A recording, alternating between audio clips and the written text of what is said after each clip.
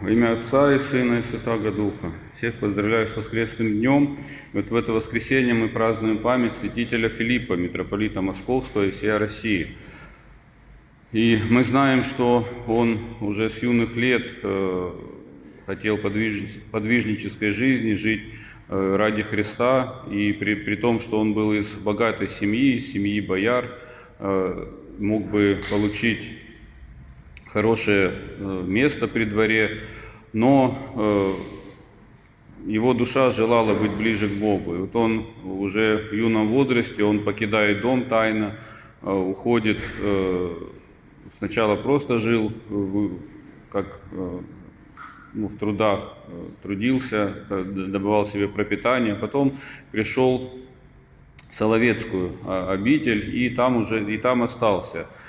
Там тоже будучи, конечно, воспитанным как человек знатный, э, были и слуги, были, э, были, жил он в таком богатстве, в довольстве, но вот он выбирает себе самые э, трудные послушания, и трудные физически, постоянно он трудился, и его вскоре постригают монашество, ну а со временем э, делают и игуменом обители Соловецкой. То есть он э, достиг э, духовного роста, видели, что он преуспевает в духовной жизни.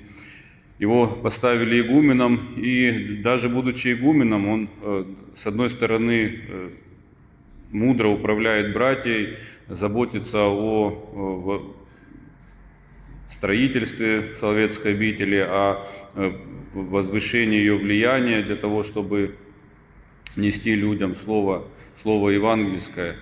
Э, но при этом и продолжает трудиться. Когда возводился Преображенский собор, он тоже трудится там вместе, вместе со всеми. То есть он показывал и пример э, своей жизни. При этом также знаем, что он был делателем непрестанной молитвы, то есть постоянно молился, даже совершая какую-то тяжелую работу, он не, э, не отступал от молитвы. И вот видим, что действительно уже при жизни своей вот, монастырской он принес э, большие плоды, видимые плоды духовной жизни. Но Господь э, уготовал ему несколько иную участь еще и дал ему возможности пострадать за истину, потому что со временем о нем вспомнил э, царь Иоанн Грозный, который знал и родителей святителя Филиппа, ну его самого немного знал, и думал, что тот будет ему поддержкой, зная, что он не, не любит как бы в политику не, не, не влезать, и поэтому думал, что он будет ему, ну, тот сам будет заниматься поли, политическими делами, а святитель Филипп будет духовно его как бы подкреплять, только благословлять. Но мы видим, что святитель Филипп, он видя э, ту неправую деятельность Иоанна Грозного, именно его опричнину, его репрессии, которые он, которые он начал, при этом как бы прикрываясь такой э, духовным основанием. Мы видим, что святитель Филипп, он э, сначала просто обличал, ну, уговаривал Иоанна Грозного, чтобы тот не, не делал то что, то, что он задумал, не, не вводил эти, эти репрессии, что опричнина она не полезна. И, ну а потом он стал напрямую Ивана Грозного обличать и перед, перед людьми, э, а, укоряя его в том, что, в том, что он делает.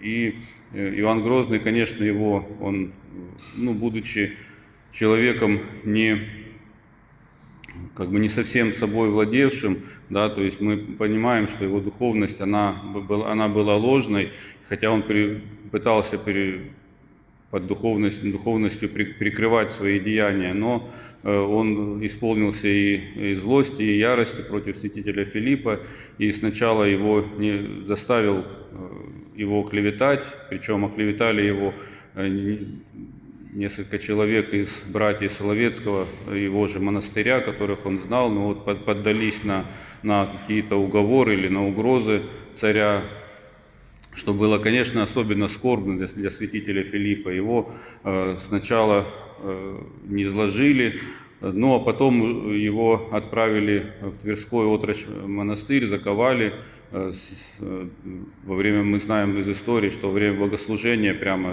ворвались в храм, сорвали с него священнические, епископские одежды и отправили его в такую ссылку, в очень суровые условия. Ну а потом, насколько мы знаем, он был умерщвлен Малютой Скуратовым. И причем святитель Филипп, он за несколько дней до своей кончины предсказал э, день своей смерти. То есть он знал, Господь ему открыл, что он должен уже почить, и э, он перечтился святых христовых тайн, приготовился, ну и Э, таким образом, как исповедник уже, как мученик за истину, он отошел к Господу. Но вот после его смерти, очень быстро,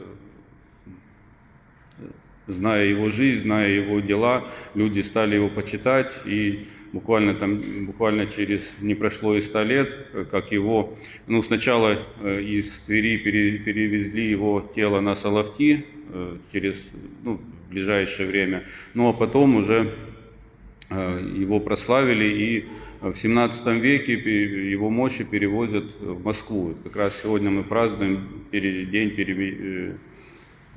пере... Э, обретения мощей и события, когда его мощи перевезли в Москву, и э, он открыли для почитания. И множество чудес совершалось по Э, по молитвам святителя Филиппа. Но вот его подвиг, конечно, э, с одной стороны мы видим э, его подвижническую жизнь. То есть святитель Филипп, он всю жизнь трудился над своей душой,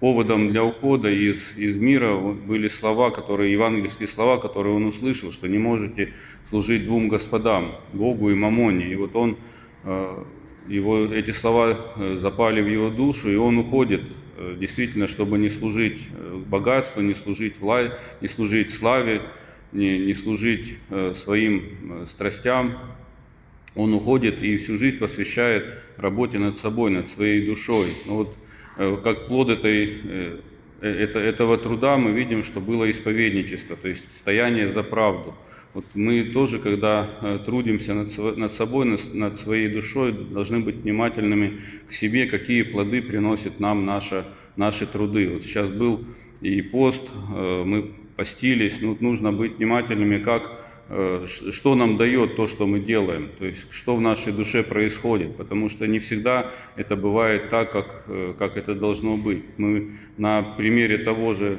царя Ивана Грозного можем видеть, что тот тоже начинал э, вроде бы и, смоли, и старался и молиться, и к церкви был усерден, но видим, что плоды были не, не, не должными, то есть он, он шел вслед, вслед своих желаний, вслед своих, э, своих э, похотей, хотений, э, своих страхов, то есть не, не, не сумел именно встать на путь служения Богу. Но вот святитель Филипп, он как раз дает нам пример правильного устроения. То есть когда нужно, он готов и пострадать, и видим, что и не боится никаких препятствий. То есть тоже вот наша духовная жизнь, когда она правильно устроена – она помогает нам преодолевать всяческие страхи. Вот если мы посмотрим, то в самом Евангелии э, Господь Христос, Он постоянно говорит своим ученикам, не бойтесь. То есть э, там кто-то даже посчитал в свое время, что 365 раз повторяется это, это слово Христа.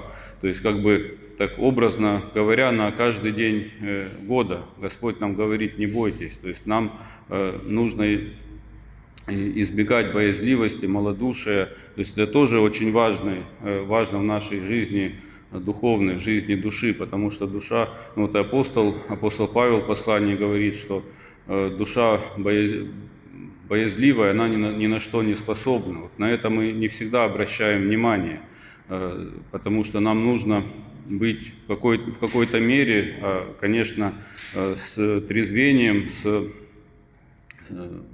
с таким с внимательностью к себе, но при этом проявлять и определенную и смелость, и дерзновение в духовной жизни, потому что вот э, сейчас как раз в такое время, когда э, уже, ну, мож, можно сказать, что стало э, неким даже э, как законом, что нельзя, нельзя ничего духовно много делать, да? нельзя много очень молиться, нельзя сильно много что-то себя чему-то посвящать духовному, чтобы не впасть там, в какую-то прелесть, чтобы не, не отклониться.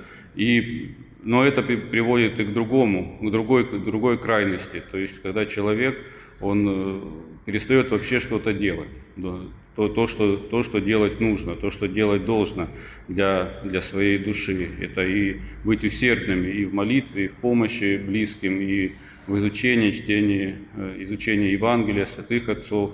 И вот Господь нам говорит, дерзайте, не бойтесь. И оно как раз пример святителя Филиппа, вот он показывает нам, что если мы правильно свою жизнь устраиваем духовную, то э, Господь из нашей, из нашей души всякий страх Он изгоняет. И мы готовы идти за Господом, готовы совершать то, что нам говорит Евангелие.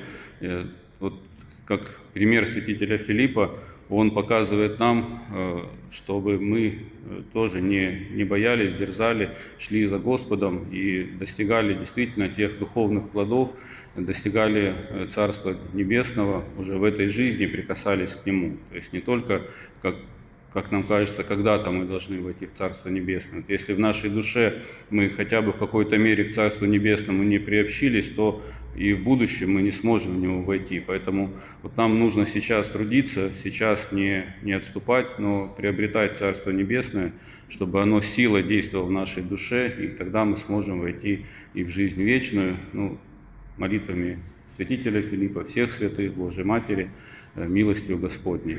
Аминь.